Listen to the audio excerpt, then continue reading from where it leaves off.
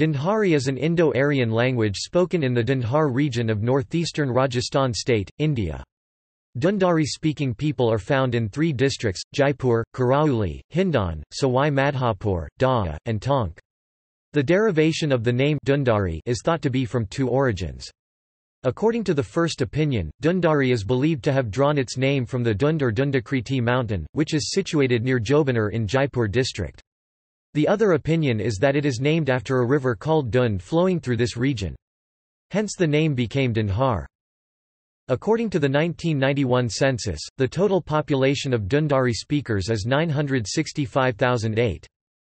Dhundari is classified as Indo-European, Indo-Iranian, Indo-Aryan, Central Zone, Rajasthani, Marwari. Alternative names for Dhundari are Dundhali, Dundhati, Jodshahi Boli, and Kai Kui Boli and Jaipuri. Jaipuri was coined by the European scholars such as George McAllister and George Abraham Grierson. Ethnologue adds Dhundari Marwari Gordon 2005 to this language. McAllister completed the grammatical analysis on February 24, 1884.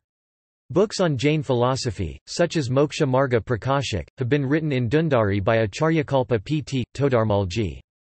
The Srirampur missionaries translated the New Testament into Jaipuri proper in 1815. It is not known whether there are any extant copies of the New Testament translation. The sentence structure is SOV. No systematic language development has been carried out in this language.